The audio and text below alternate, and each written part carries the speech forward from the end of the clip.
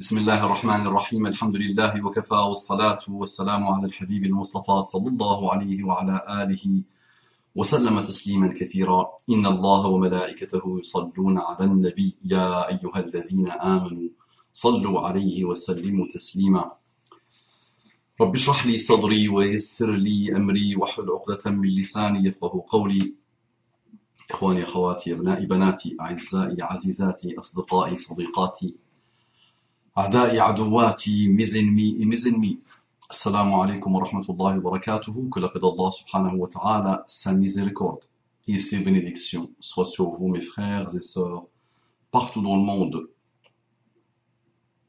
bonjour, bonsoir, bon appétit bonne évolution, bonne révolution bonne tolérance bonne, bonne capacité à vivre ensemble, bonne tolérance, bon sens des responsabilités, bonne humanité, bonne remise en cause, bonne intransigeance d'abord avec nous-mêmes, bonne valeur, bon ce que vous voulez mes frères et sœurs, non musulmans partout dans le monde, je vous exprime ma fraternité, mon affection, ma gratitude et toutes les bonnes valeurs de l'humain.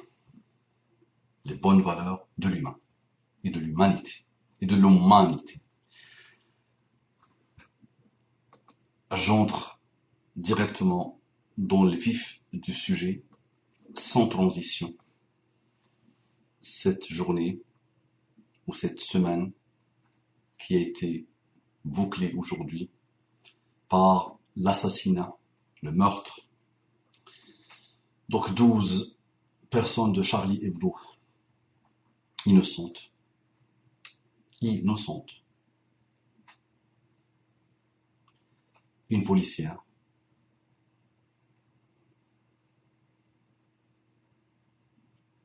Plus, apparemment, quatre personnes. Plus les trois tueurs. Ça nous fait plus ou moins une vingtaine de personnes mortes dans un engrenage de violence et de provocation et de provocation et de haine de frustration qui s'accumulent maintenant depuis des années et des années et des années qui sont de pire en pire.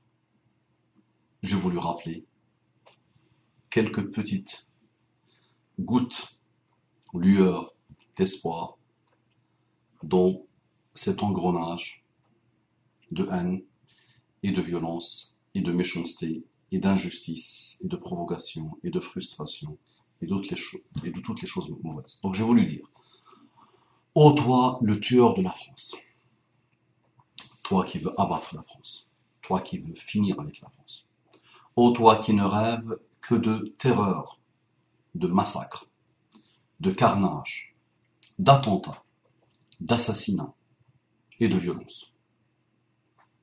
Tes parents et tes grands-parents sont venus en France pour une vie meilleure, d'abord et surtout pour toi. Ils ont émigré, ils ont quitté leur pays, ils ont quitté un passé, pour et surtout pour toi, pour que tu vives bien, pour que tu, puisses naître dans un pays avec un minimum euh, de bonheur, avec un minimum de liberté, avec un minimum de respiration, de bonne respiration. Tes parents et tes grands-parents sont venus en France pour une vie meilleure, d'abord et surtout pour toi. Tes parents ont rêvé d'une belle vie pour toi, une vie pleine de réussite et de bonheur. Tes parents ont aimé la France. Tes parents ont quitté famille et amis pour vivre et s'installer en France. Tes parents ont construit la France. Oui, et tu le sais très bien. Tu les as vus suer.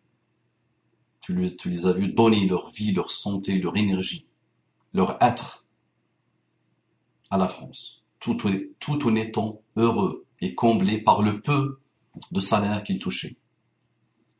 Mais ils étaient quand même comblés et heureux de participer à la construction d'un pays qu'ils ont aimé. Donc tes parents ont construit la France. Tes parents se sont construits en France, avec la France, par la France et grâce à la France. Tes parents veulent et ont voulu et voudront mourir en France.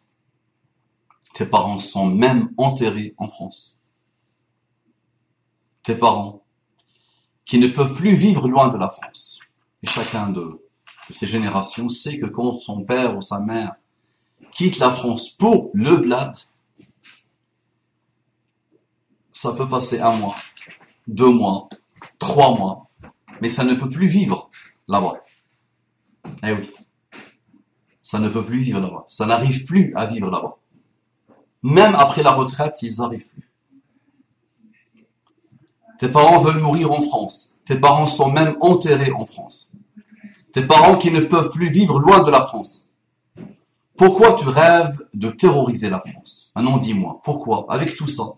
Et je peux te dire tes parents et tes parents et tes parents et tes parents et tes parents, toutes les choses que toi tu as vécues avec tes parents et que tu maîtrises mieux que moi. Moi, je me suis observé comme parent et j'ai observé tes parents tout au long de mon parcours en France. Et toi, tu les as aussi observés. Tu as vu des choses qui t'ont étonné, qui t'ont émerveillé, qui t'ont parfois déçu, mais globalement qui t'ont émerveillé par la capacité de tes parents à aimer cette France, à se donner pour cette France et à vouloir finir en France. Pourquoi alors tu te déploies pour déstabiliser la France? Cette France qui t'a vu naître. Cette France qui t'a vu naître.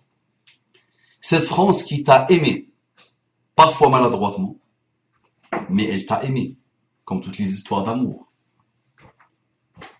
Cette France qui a été très indulgente envers toi, parfois trop indulgente avec toi, parfois pas assez indulgente avec toi. Parfois maladroitement. Elle a été indulgente avec toi, parfois maladroitement. Mais elle a été très indulgente avec toi. Elle a souvent été très, très, très indulgente avec toi. Cette France qui a été parfois maladroite avec toi, mais souvent juste avec toi. Et tu ne peux pas le nier. Je te parle à toi-même, parle à toi-même. Finis par te réconcilier avec toi-même. Essaye au moins de te réconcilier avec toi-même. Essaye de faire la connaissance de toi-même. Et tu verras que il y a beaucoup, beaucoup, beaucoup, beaucoup, beaucoup de choses que la France a fait pour toi. Cette France qui t'a supporté tout au long de tes différents cheminements. Cette France qui t'a supporté, encouragé tout au long de tes différents cheminements. Cette France qui t'a donné une énorme chance, ou d'énormes chances, chance plurielle, que tu n'as pas voulu saisir, ou que tu n'as pas pu saisir. À des moments de maladresse, ou de manque de maturité, ou de manque de sagesse, ou de manque de reconnaissance. Donc cette France qui t'a donné d'énormes chances que tu n'as pas pu, tu n'as pas voulu ou pu saisir. Dis-moi mon frère, elle est où ta gratitude envers ta mère patrie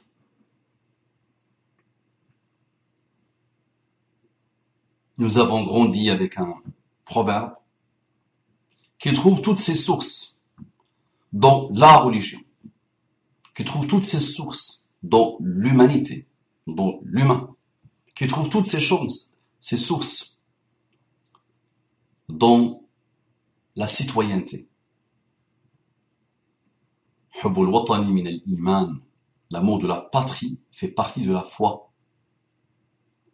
L'amour de la patrie fait partie de la foi. Il est où ta gratitude envers ta mère patrie Dis-moi par Allah, dis-moi par Dieu. Sache mon frère que en te comportant avec ingratitude envers la France, tu as trahi ton âme, tu as trahi tes parents, et tu as trahi ceux et celles qui t'ont aimé et que tu as aimé. Sache, ô celui qui veut abattre la France, que, et avant de te dire le que, je te répète, en te comportant avec ingratitude, avec la France, avec ta mère patrie, tu as trahi ton âme. Tu as trahi tes parents. et tu as trahi ceux et celles qui t'ont aimé et que tu as aimé. Sache, ô celui qui veut abattre la France, que celui qui n'est même pas capable d'aimer son pays ne peut pas s'aimer. Et c'est malheureusement ça ton problème. Sache, ô celui qui veut abattre la France, que celui qui n'est même pas capable d'aimer son pays ne peut pas s'aimer, ne peut pas aimer les autres, il ne peut pas aimer Allah. Je te le répète, sache, ô celui qui veut abattre la France, que celui qui n'est même pas capable d'aimer son pays ne peut pas s'aimer, ne peut pas aimer les autres, il ne peut pas aimer Allah. Qu'Allah bénisse la France. Ça te rappelle quelque chose? Qu'Allah bénisse la France. Qu'Allah bénisse la France. Ton frère Abu Umama qui t'aime et qui aime la France. Qu'Allah apaise les cœurs, qu'Allah soulage les souffrances, qu'Allah nous guide, qu'Allah guide par nous. À méditer, plus rien à rajouter. Assalamu alaikum wa rahmatullahi wa barakatuhu, mes frères et sœurs en islam. Bonjour, bon amour, bonne affection, bonne fraternité bonne souplesse, bon vivre ensemble, bonne tolérance, bon, avancement ensemble, bonne humanité, bonne humanité, bon ce que tu veux, mon frère, ma sœur, de France, d'Europe et de partout dans le monde.